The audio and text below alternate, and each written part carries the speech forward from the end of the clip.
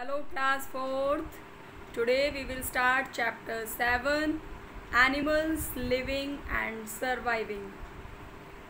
Learning plans of this chapter are at the end of this chapter learners will be able to divide animals into various groups, explain the need for adaptation in animals and list the uh, different ways in which animals adapt describe the adaptation in animals of food, movement and environment. And last discuss some spatial adaptation. Okay? Now some uh, amazing facts are given. Think about it. Amazing animals.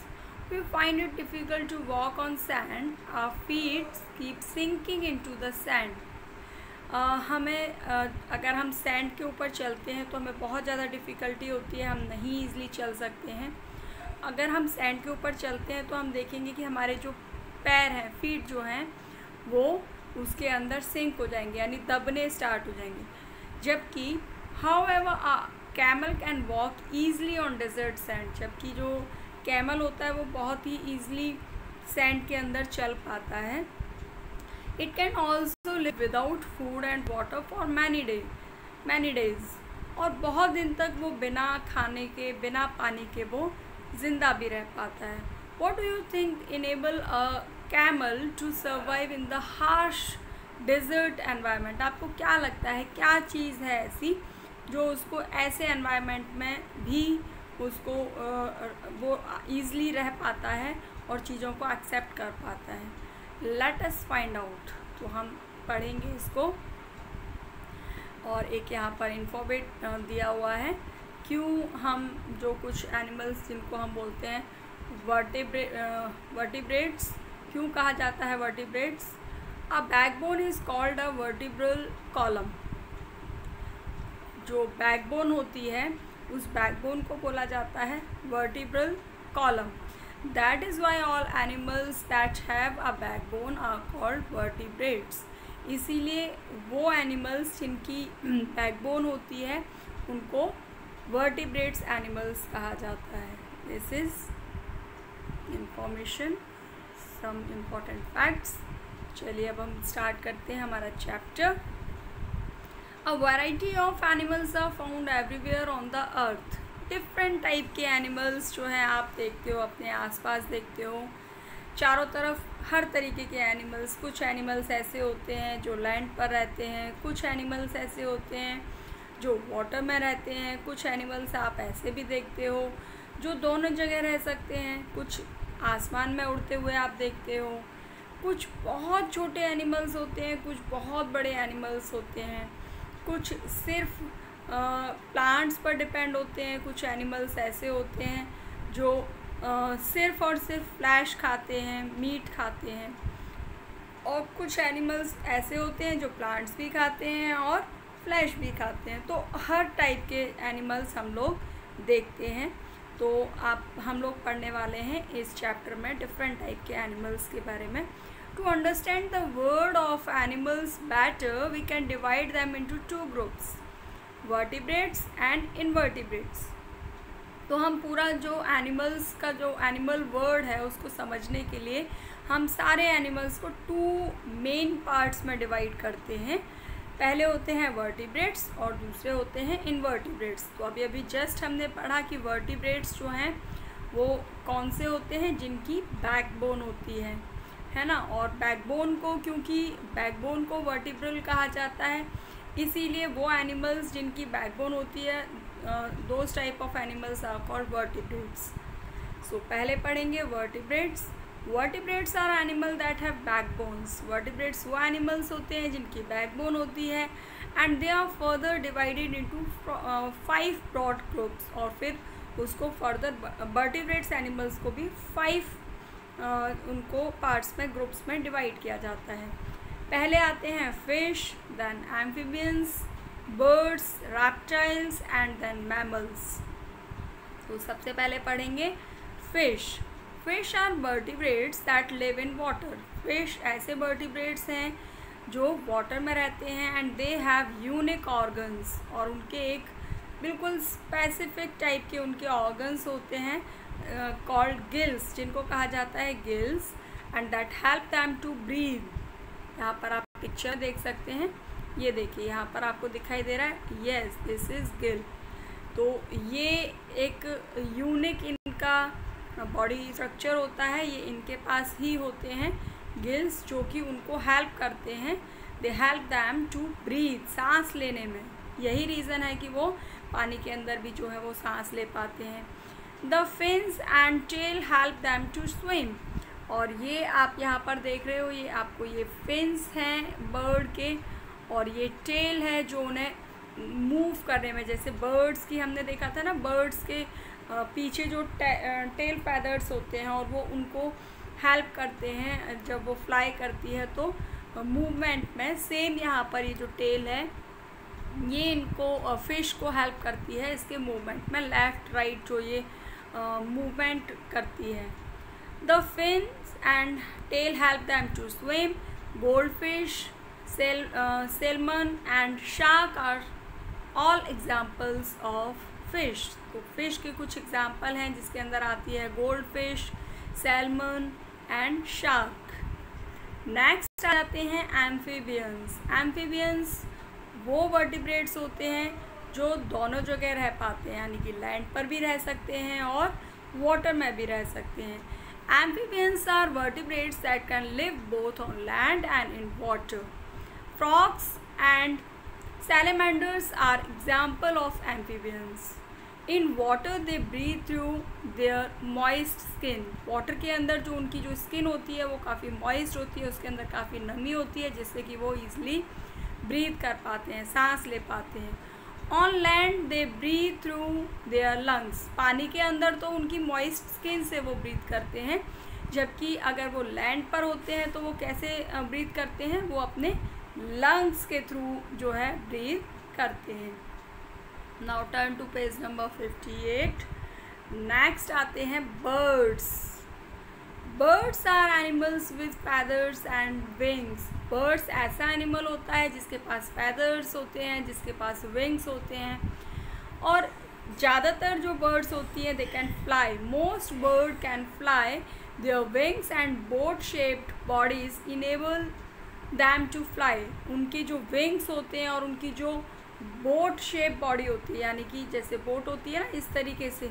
इस तरीके की जो उनकी shape होती है, वो उन्हें help करती है आ, उनको बनाती है इस लायक कि वो आसमान में जो है फ्लाई कर पाए। नेक्स्ट है यहाँ पर crow pigeon sparrow parrot and eagle are some example of birds that can fly कुछ बर्ड्स जो कि फ्लाई कर पाती हैं उसके कुछ एग्ज़ाम्पल हैं जैसे कि कौआ पिजन कबूतर स्पैरो पैरट और ईगल कुछ ऐसे बर्ड्स हैं जो फ्लाई कर पाते हैं, लेकिन कुछ बर्ड्स ऐसे हैं जो बिल्कुल भी फ्लाई नहीं कर पाते हैं। Some birds such as ostrich and penguin can not fly ostrich जो कि लार्जेस्ट बर्ड है पूरे वर्ल्ड की, वो आपको पता होगा कि वो उड़ भी नहीं सकती है। And they are called flightless bird इसीलिए इनको फ्लाइटलेस बर्ड्स कहा जाता है। नेक्स्ट आते हैं आपके वर्टिब्रेट्स की लिस्ट में reptiles snakes lizards and crocodiles are reptiles they have scaly dry skin जो आपने देखा होगा जिनकी बहुत स्पीड स्लो होती है जो आ, किस आ, उसके फ्लोर पर या वॉल पर खिसक खिसक के चलते हैं, जिनकी चलने की स्पीड भी आपने देखा होगा, वो उस पूरे सरफेस यानी लैंड सरफेस से टच होते हुए जो है वो चलते हैं। तो इस टाइप की, इनकी जो स्किन होती है, वो कैसी होती है? स्केली होती है ड्राई स्किन होती है। ये आते हैं रेप्टाइल की रेप्टाइल्स की कैटेगरी में। नेक्स्ट आते हैं वर्टिब्रेट्स की लिस्ट में mammals mammals are animals that feed their young ones with their milk mammals ऐसे एनिमल्स होते हैं जो अपने यंग वन को, अपने बच्चों को जो है वो फ़ीड कराते हैं। मैमल्स हैव हेयर मैमल्स के हेयर होते हैं ऑल ओवर देयर बॉडी पूरी बॉडी जो है उनकी हेयर से कवर होती है। And they have four limbs और उनके फोर लिम्स होते हैं।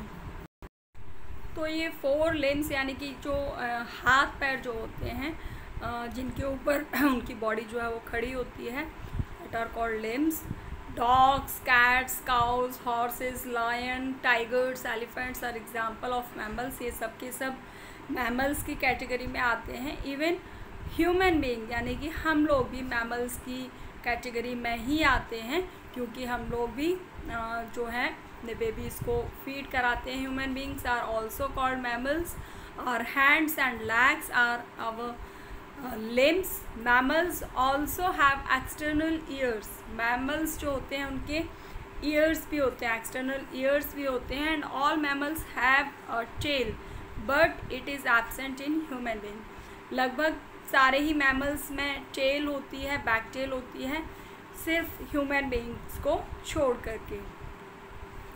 यहाँ पर देखिए इन्फोबिट दिया हुआ है dolphin and whale may look like fish जो वेल और डॉल्फिन जो हैं, वो फ़िश की तरह दिखती हैं, लेकिन बट दे आर मैमल्स क्योंकि वो अपने यंग वंस को फ़ीड कराती हैं।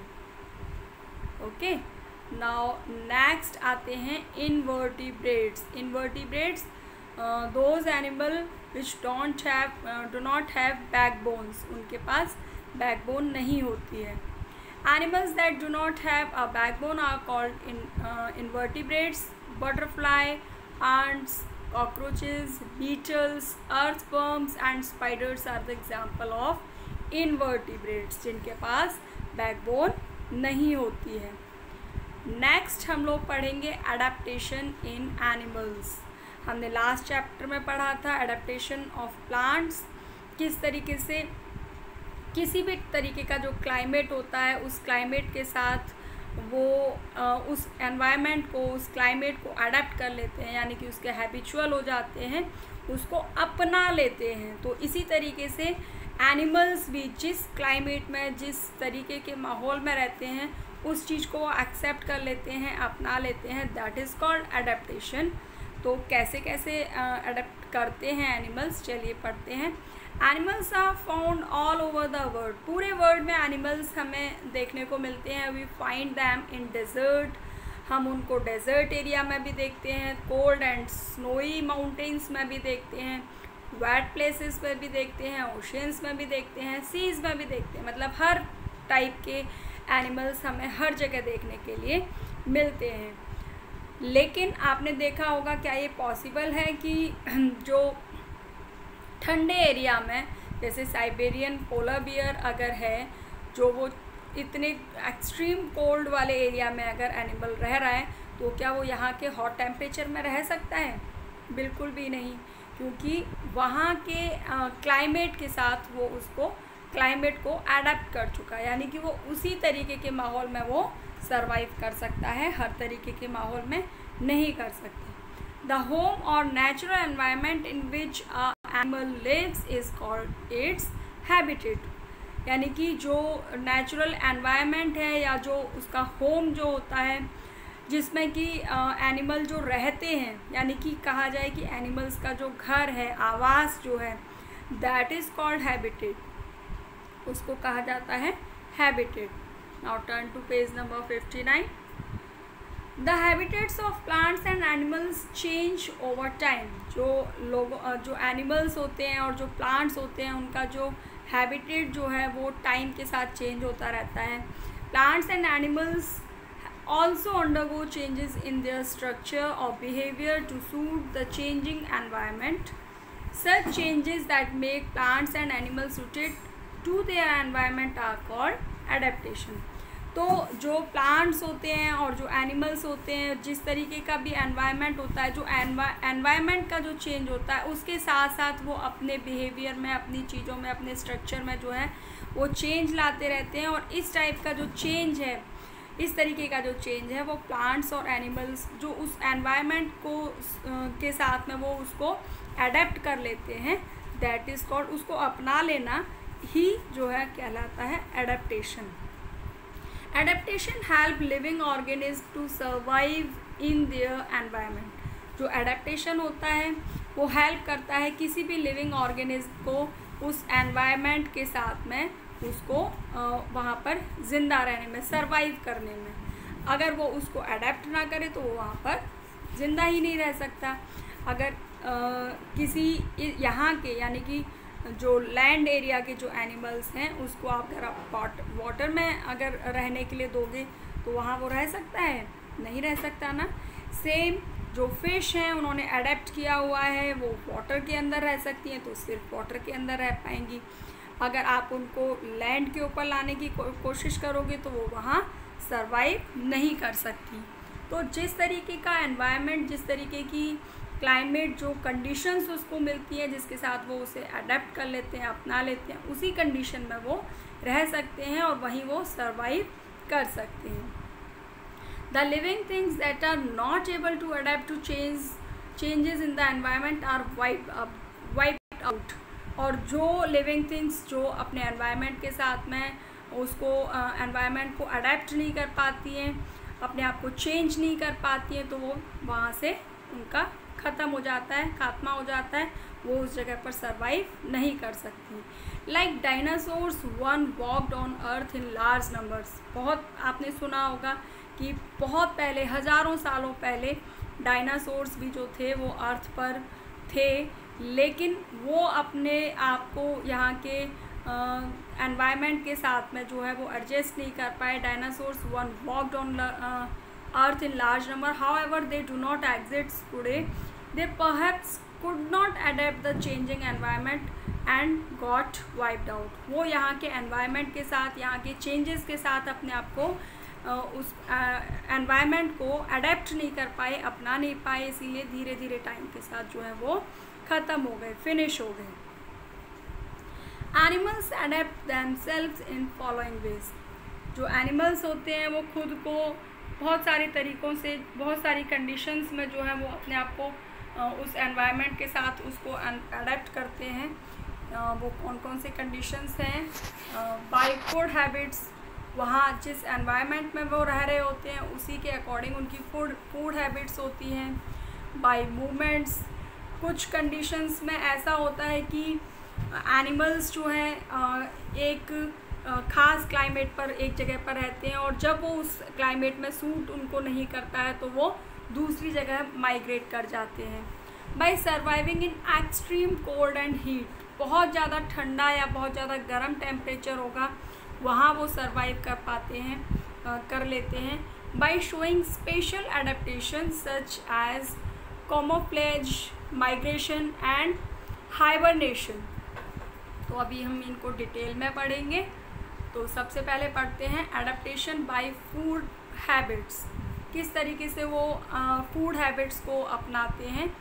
On the basis of the feeding habits animals are grouped as herbivores carnivore carnivores omnivores and parasites तो अपनी फीडिंग हैबिट्स के, यानी कि खाने की आदतों के अकॉर्डिंग भी एनिमल्स को जो है वो फोर ग्रुप्स में डिवाइड किया जाता है। पहले आते हैं herbivores then carnivores omnivores and parasites. So, let us study the adaptation in each groups of food, for food. तो हर ग्रुप में जो है उनकी फ़ूड फीडिंग हैबिट्स जो है वो अलग अलग होती हैं, किस तरीके से होती हैं सबसे पहले आते हैं herbivores animals that eat only plants are called herbivores animals और हार्बीवोरस हार्बीवोरस एनिमल्स या हार्बीवोर्स कहा जाता है उन एनिमल्स को जो सिर्फ़ और सिर्फ़ प्लांट्स के ऊपर डिपेंड होते हैं, यानी कि सिर्फ़ प्लांट्स को ही फ़ीड करते हैं like deer zebra camels elephants cows goat buffaloes are all herbivores ये वो एनिमल हैं जो सिर्फ़ और सिर्फ़ प्लांट्स के ऊपर डिपेंड रहते हैं and they eat grass leaves and barks of trees ये सारे जो हैं वो घास खाते हैं, पत्तियाँ खाते हैं, या फिर पेड़ों की छाल को खा करके भी सर्वाइव करते हैं। They have sharp teeth in the front for cutting plants इनके जो आगे फ्रंट के जो टीथ होते हैं वो काफ़ी शार्प होते हैं, जिससे ये ईजिली प्लांट्स को कट कर पाते हैं। At grinding teeth grinding teeth help them to chew and grind the plant parts इसके अलावा इनके ग्राइंडिंग टीथ्स भी होते हैं। जिनको, जो हेल्प करते हैं इनको चबाने में और जो चारा ये खाते हैं उसको ग्राइंड करने में। Squirrel rabbit and rats have razor sharp front teeth इसके अलावा आपने वो देखा होगा स्क्वायरल्स देखी होंगी। कई बार ट्री के ऊपर आपको चलते हुए दिखती हैं। रैबिट्स देखे होंगे रैट तो आप देखते ही हैं घर में। इनके बहुत ही ज़्यादा रेजर टाइप के शार्प टीथ होते हैं। जो कि हार्ड से हार्ड चीज़ें नट्स जो होते हैं आपने देखा उनको भी ये ईज़िली जो है वो आ, कुतर लेते हैं। They use such teeth to gnaw and bite on nuts berries and wood तो इस तरीके से उनको ईज़िली ये जो है वो कुतर पाते हैं खा पाते हैं। चा, चाहे वो कितने ही हार्ड क्यों ना हो नट्स हों बेरीज हों इवन वुड, वुडन जो आपका फर्नीचर होता है, उसको भी आपने देखा होगा कई बार जो है ये वो, नो यानी कि कुतरना। तो उसको कुतर के खा जाते हैं। नेक्स्ट आते हैं आपके carnivores animals that eat the flesh of other animals are called carnivorous animals और कार्निवोर्स वो एनिमल जो दूसरे एनिमल्स के फ्लैश के ऊपर डिपेंड रहते हैं, उनका फ्लैश यानी कि मांस खाकर ज़िंदा रहते हैं, उस टाइप के एनिमल्स को बोला जाता है कार्निवोर्स एनिमल्स और carnivores lion tiger leopard panther wolves and jackals are carnivores animals and they have long pointed teeth इनके बहुत लंबे और पॉइंटेड टीथ होते हैं कॉल्ड कैनाइंस जिनको कहा जाता है canines to into and tear the flesh of the prey. जो ईजली अपने जो शिकार होता है, उसका जो मांस होता है, उसको फाड़ने के लिए, इस तरीके से फाड़ने के लिए इस टाइप के कैनाइंस को वो यूज़ करते हैं। नेक्स्ट आते हैं आपके स्केवेंजर्स स्केवेंजर्स इसके अंदर आता है आपका hyenas and vulture eat the decaying flesh that is why they are called scavengers sorry hyenas and vulture eat the decaying flesh of dead animals यानी कि वो एनिमल्स जो दूसरे मरे हुए एनिमल्स यानी कि जो ख़त्म हो चुके हैं, मर चुके हैं, उन एनिमल्स का जो फ्लैश है, उसको खाकर सरवाइव करते हैं, ज़िंदा रहते हैं, उसे खाते हैं। They are called scavengers and this help to keep the forest area clean जिससे जो जंगल जंगल का जो एरिया होता है फॉरेस्ट एरिया जो होता है वो बिल्कुल साफ़ सुथरा होता है, क्योंकि जो भी एनिमल्स मरे हुए एनिमल्स होते हैं, उनको ये खा करके ख़त्म कर देते हैं। इसीलिए इनको कहा जाता है that is why they are called scavengers scavengers hyena have short powerful canines जो हैना होती है, उसके बहुत ही शॉर्ट यानी कि छोटे, लेकिन बहुत पावरफुल कैनाइंस होते हैं। They also have powerful back teeth to crush bone और उनके जो बैक टीथ होते हैं, वो बहुत ज़्यादा पावरफुल होते हैं, जो बोन्स को भी जो है वो क्रश कर देते हैं।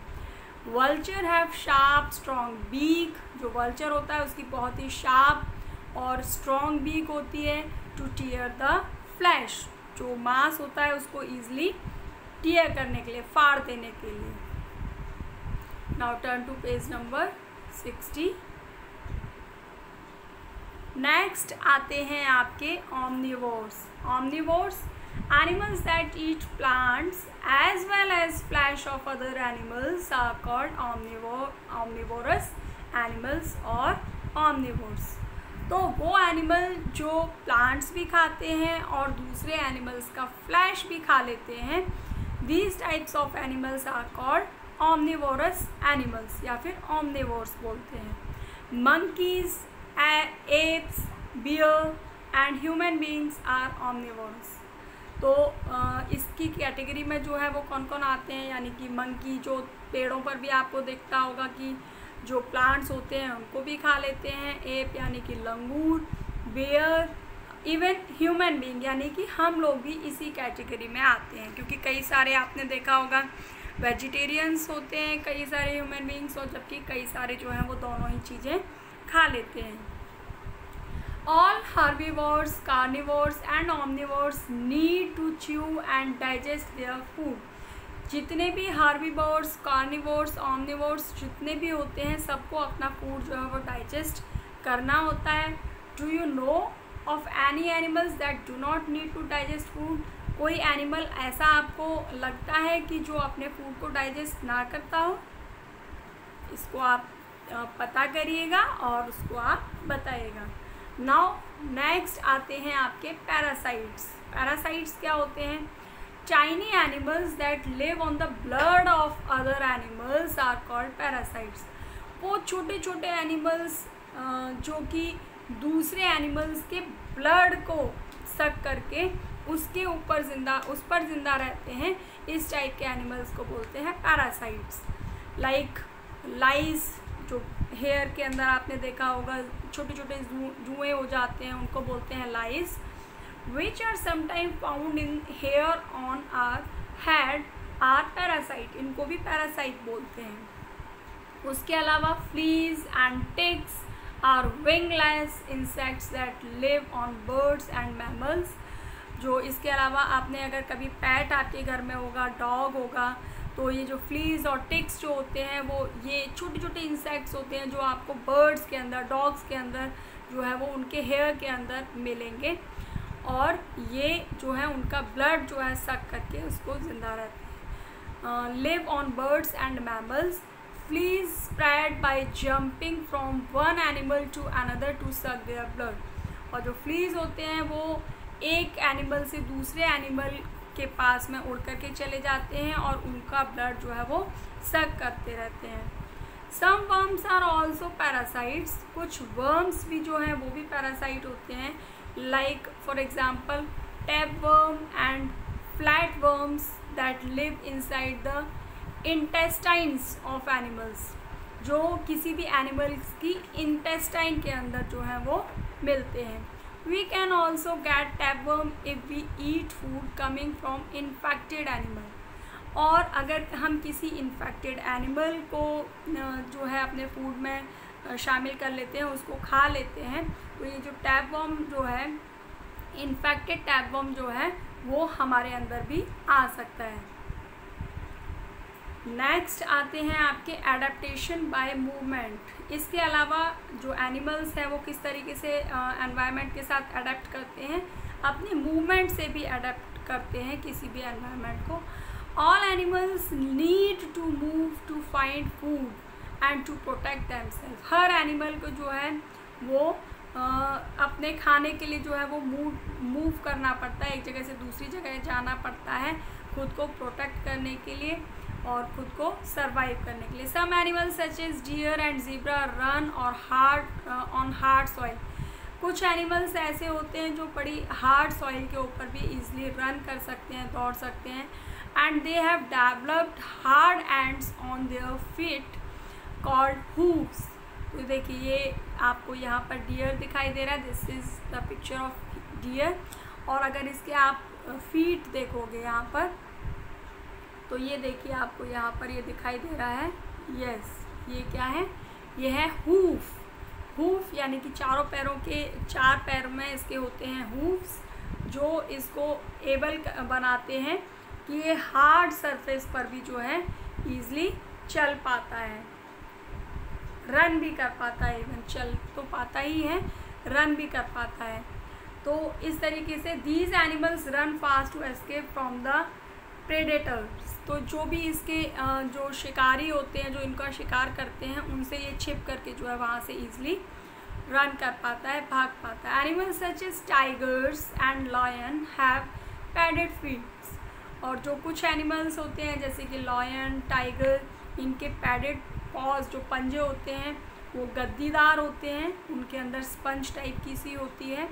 तो पैडेड फ़ीड होते हैं so they can move closer to their prey बिल्कुल अपने शिकार के पास में ये दबे पाँव से वहाँ पहुँच जाते हैं विदाउट मेकिंग एनी नॉइज़ तो इनकी जो स्पंजी जो पैर होते हैं पैडेड फीट जो होते हैं, उससे ये अपने शिकार के पास पहुँच भी जाते हैं और उसको पता भी नहीं चल पाता। नेक्स्ट एनिमल्स दैट फ्लाई वो एनिमल्स जो कि उड़ सकते हैं। Fly are called aerial animals उनको बोलते हैं एरियल एनिमल्स, मोस्ट बर्ड्स, ज़्यादातर जो बर्ड्स होती है, कुछ एक बर्ड्स जैसा हमने पढ़ा कि फ्लाई नहीं कर पाती हैं but most bird can fly most birds bats and some insects are aerial animals कुछ इंसेक्ट्स भी जैसे कि मॉस्किटो हाउस फ्लाई ये भी जो है वो फ्लाई कर पाती हैं। Such animals have wings to fly इनके पास विंग्स होते हैं जिससे कि ये फ्लाई कर पाते हैं।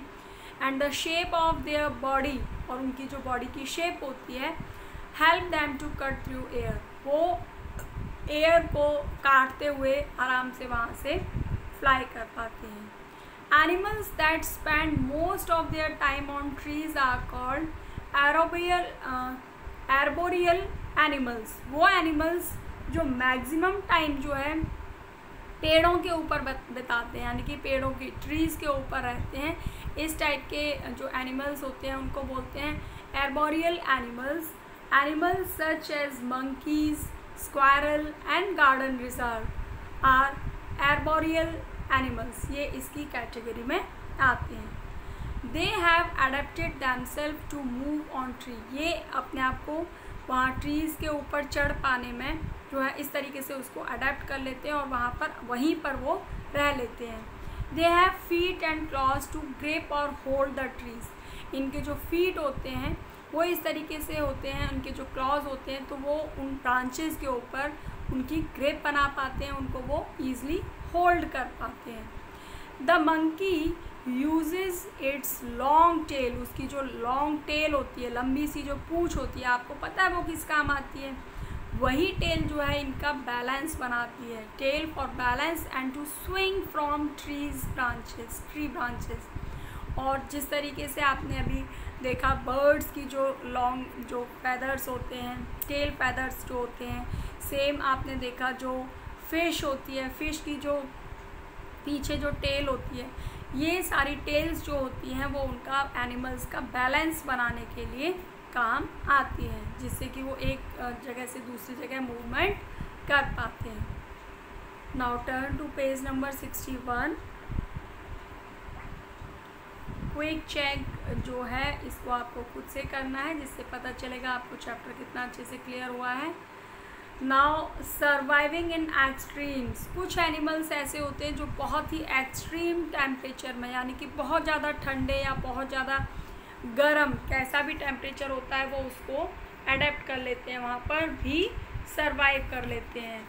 लाइक पोलर रीजन्स आपको पता है पोलर रीजन यानी नॉर्थ पोल और साउथ पोल वाला जो एरिया है, वो पूरे टाइम बर्फ़ से ढका रहता है। And deserts provide the toughest condition to surviving तो ये बहुत ज़्यादा टफेस्ट कंडीशन होती है जिसमें सर्वाइव कर पाना बहुत ज़्यादा टफ होता है। Let us find out how some animals survive in these testing condition तो चलिए देखते हैं कैसे इन एक्सट्रीम कंडीशन में भी जो एनिमल्स जो हैं वो किस तरीके से सर्वाइव करते हैं। तो पहले देखते हैं polar region the polar region यानी कि the Arctic and the Antarctica are the coldest places of the earth पूरी अर्थ का जो सबसे ज़्यादा ठंडा जो एरिया है वो आपको पता है आर्कटिक सर्कल एंड एंटार्क्टिका जो है वो है। And life is extremely difficult here यानी कि वहाँ पर कोई भी ह्यूमन बींग जो है वो वहाँ पर सर्वाइव नहीं कर सकता, नहीं रह सकते। Polar bear inhabited antarctic while penguins are found in antarctica. इस तरीके की कंडीशन में, यानी कि आर्कटिक सर्कल में अगर हम देखते हैं तो वहाँ पर पोलर बियर हमें देखने को मिलता है। और एंटार्क्टिका में पेंगुइन्स मिलती है. Let us understand how they survive in such environment तो चलिए समझते हैं कि किस तरीके से ये ऐसी कंडीशंस में सर्वाइव कर पाते हैं.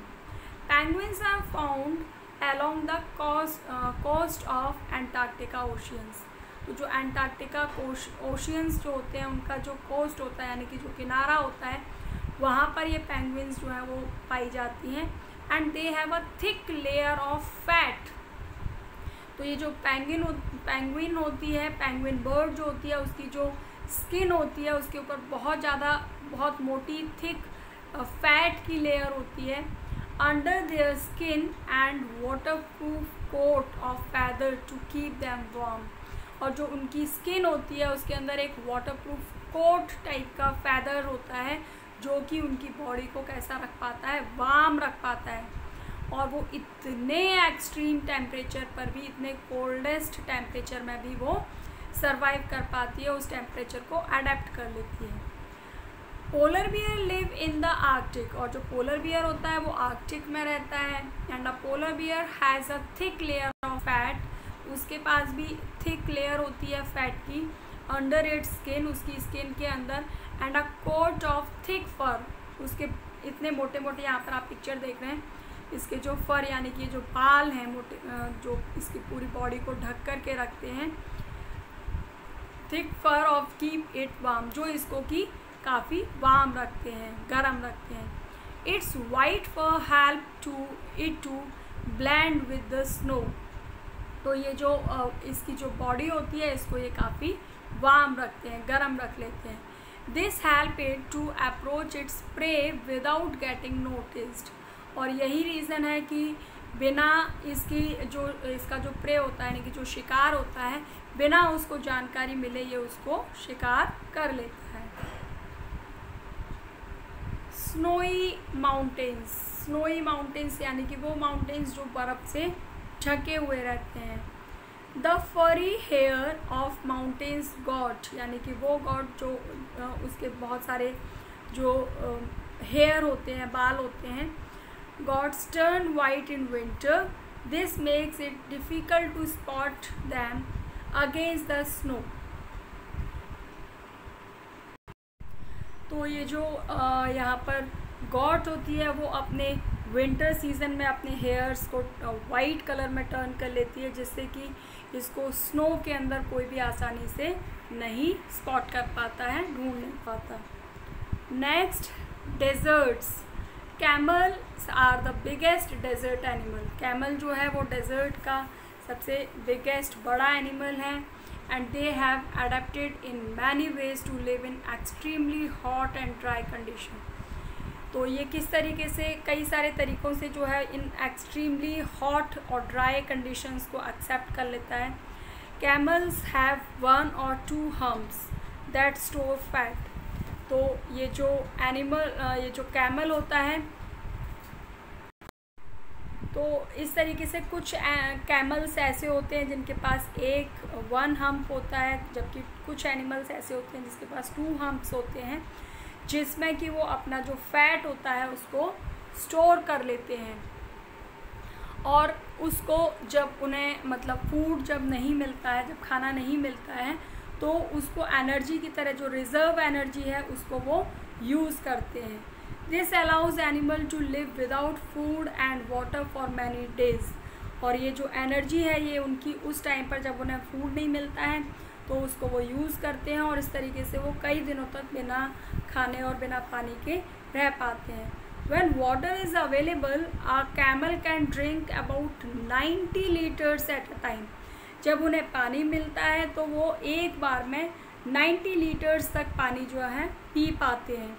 A camel has broad padded feet to help it walk easily on the desert sand. और जो उसके कैमल के जो फीट होते हैं, पैर जो होते हैं, वो काफ़ी ब्रॉड यानी कि चौड़े होते हैं और पैडेड यानी कि गद्दीदार फीट होते हैं, जो उनको ऐसे सैंड के अंदर ईजिली चल पाने में हेल्प करते हैं। हमने चैप्टर के स्टार्टिंग में पढ़ा था। कि क्या ऐसी चीज़ होती है इन एनिमल्स के पास में? अगर हम सैंड वाले एरिया पर चलते हैं तो हम बहुत ज़्यादा लंबा जो है मतलब उसके अंदर हमारे पैर जो हैं सिंक हो जाते हैं, यानी कि डूब जाते हैं। जबकि एन कैमल्स जो होते हैं, उनके पैर जो हैं उस सैंड के अंदर नहीं सिंक करते, यानी कि नहीं अंदर घुसते। तो ऐसा क्या होता है? तो इनके पास वो पैडेड फ़ीड हो फीड्स होते हैं, जिनकी वजह से ये उस सैंड के अंदर ईजिली सैंड के ऊपर चल पाते हैं, जो अंदर ये नहीं घुसते हैं। During at sand storm the camel's nostrils close up to block out sand. और जो जब धूल भरी आंधियाँ होती हैं, जब, यानी कि आंधी आती है, धूल भरी आंधियाँ जब चलती हैं तो जो कैमल होता है, वो अपनी नॉस्ट्रिल को जो है, वो क्लोज कर लेता है, बंद कर लेता है, जिससे कि जो सैंड है, वो उसके अंदर नहीं एंटर कर पाती। और turn to page number sixty two desert animals also include many insects deserts animals के अंदर बहुत सारे इंसेक्ट्स भी आते हैं स्पाइडर्स भी आते हैं लिजार्ड्स भी आते हैं स्नैक्स भी आते हैं। And many of these rest और take shelter under stones during the days और इनमें से बहुत सारे जो एनिमल्स होते हैं, वो इन स्टोन्स के अंदर, यानी कि जो यहाँ पर, ये देखिए आपको पिक्चर में दिखाई दे रहा है, ये डेजर्ट लिजार्ट है लिजार्ड है। तो ये स्टोन्स के बीच में जो है, दिन के टाइम में स्टोन्स के बीच में जो है, वो शेल्टर ले लेते हैं, यानी कि उसके बीच में जा कर के रहते हैं। And they come out only at night to feed और सिर्फ़ ये रात में ही निकल कर के आते हैं। रात में ही अपना जो खाना है फ़ूड जो है, वो फ़ीड करते हैं, खाते हैं। नेक्स्ट आ जाते हैं आपके स्पेशल टाइप के एडेप्टेशन कुछ स्पेशल टाइप के एडेप्टेशंस भी एनिमल्स में देखने के लिए मिलते हैं। यहाँ पर आ जाते हैं। Camouflage migration hibernation are special form of adaptation and some animals uses this adaptation to survive in their habitat और कुछ एनिमल्स जो हैं वो इस टाइप की एडेप्ट कर लेते हैं एनवायरनमेंट को और अपने जो हैबिटेट होता है वहाँ पर वो सर्वाइव कर पाते हैं। तो सबसे पहले आते हैं कैमोफ्लेज द कलर्स और shapes of some animals enable them to merge with their surroundings तो कुछ एनिमल्स जो होते हैं, उनका कलर ऐसा होता है, उनकी शेप ऐसी होती है, जो उनके आसपास का जो सराउंडिंग्स होता है, यानी कि जो वातावरण होता है, वो उसके अंदर ही मर्ज हो जाते हैं, यानी कि मिल जाते हैं। This ability of the animals is called camouflage इस टाइप की जो एबिलिटी होती है, यानी कि अपने आप को अपने आसपास की सराउंडिंग्स में ही जो वो उसको मिला लेते हैं, इस टाइप के एनिमल्स को बोलते हैं camouflage and it enables them to escape being seen by other animals जिससे ये एबिलिटी जो उसके अंदर होती है, इन एनिमल्स के अंदर, वो बाकी एनिमल्स जो हैं, वो उसको ईज़िली ढूंढ नहीं पाते, वो उनसे छिपा करके अपने आप को रख लेता है। The grasshopper is green in colour जो ग्रास ऑपर होता है, वो ग्रीन कलर का होता है। And like the surrounding grass और जो उसके आसपास की जो ग्रास होती है, उसका भी कलर जो है, वो ग्रीन होता है।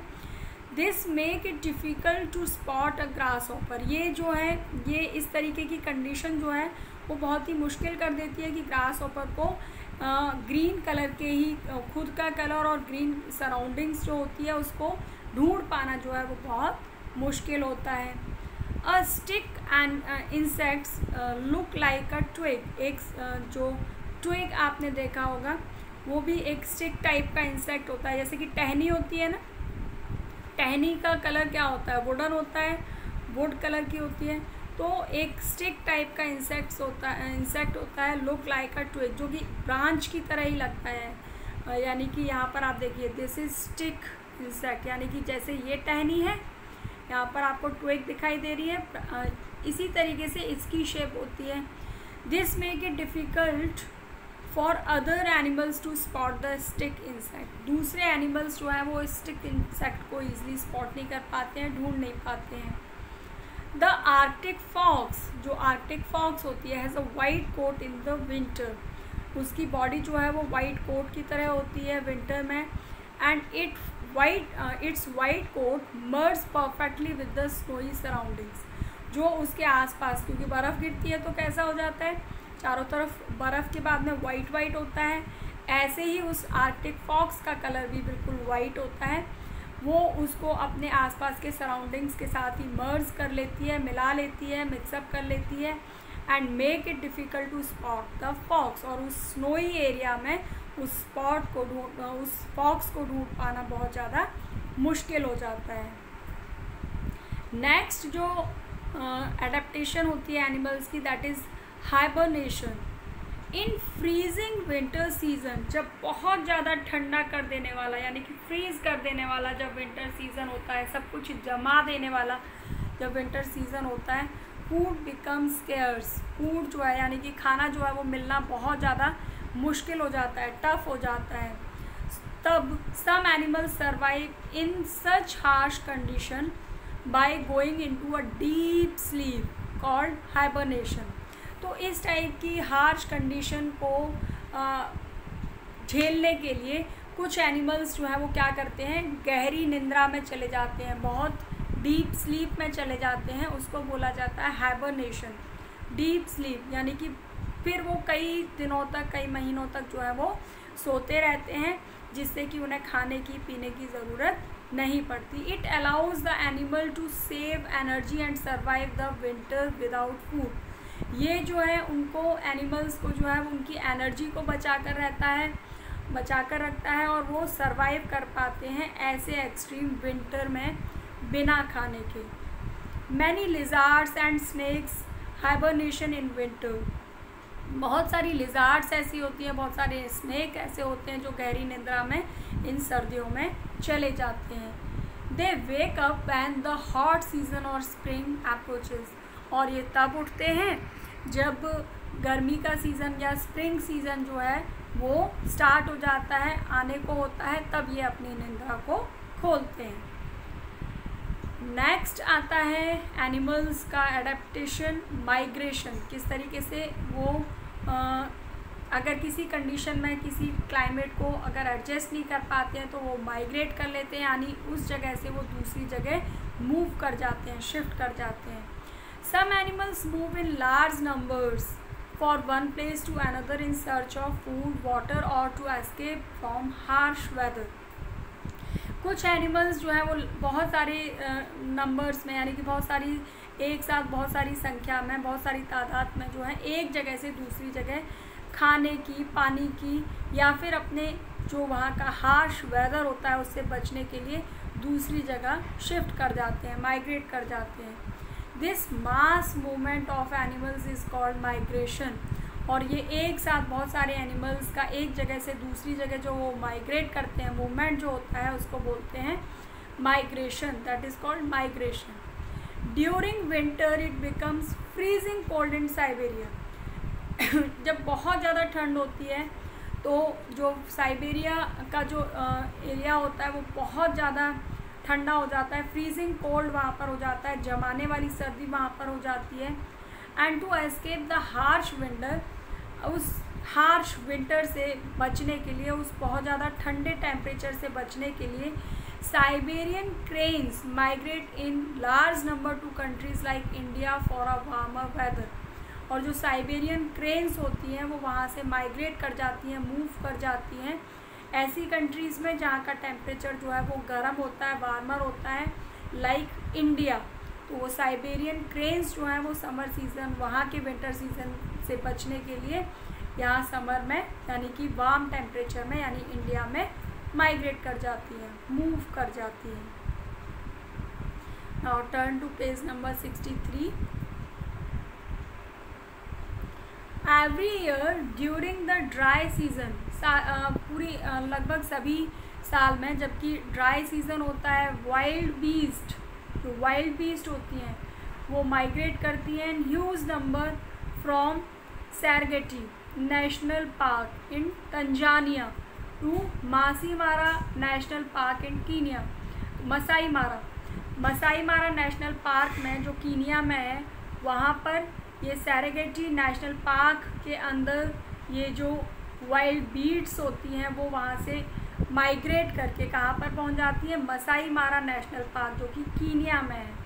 They migrate in search of greener pasture वो वहाँ से हरा चारा लेने के लिए वहाँ पर पहुँच जाती हैं and return at the end of the season और जब उस सीज़न का एंड होता है, यानी कि वो जो हरा चारा है, जब वो ख़त्म हो जाता है, तब वो अपने वहाँ पर सैरागेटी नेशनल पार्क में, यानी कि तंजानिया में वापस चली जाती हैं। At the end of the season and they take a circular path ये जाने के लिए भी एक सर्कुलर पाथ जो है लेती हैं। In the journey and cover the distance of five hundred to thousand miles और कम से कम पाँच सौ से हज़ार माइल्स तक जो है ये एक पूरी भीड़ के साथ में, पूरा झुंड के साथ में जो है, वो एक सर्कुलर पाथ में, यानी कि सर्कुलर गोल पाथ में रास्ते पर जो है ये पहुँचते हुए वहाँ पर वापस जाती हैं। So your chapter is finished ये आपने देखा किस किस तरीके से एनिमल्स जो हैं वो अपने एनवायरनमेंट के साथ अपने आप को अडेप्ट कर लेते हैं। और your chapter your first term syllabus is finished with this chapter आपका फ़र्स्ट यानी कि जो हाफ़ ईयरली एग्ज़ाम है, उसमें सेवन तक चैप्टर्स आएँगे। तो आपको यहाँ तक पूरा सिलेबस जो है वो अच्छे से थॉरली रीड करना है और जो भी एक्सरसाइजेज हैं क्वेश्चन आंसर्स हैं, उनको अच्छे से आपको कंप्लीट करना है। और आपको करना क्या है, यहाँ पर कुछ एनिमल्स यानी कि यहाँ पर जो दिए हुए हैं उन एनिमल्स को आपको उनकी कैटेगरीज यानी ग्रुप्स के साथ में उनकी पिक्चर्स जो हैं वो आपको पेस्ट करनी है ओके और in next class we will do exercises of this chapter till then bye bye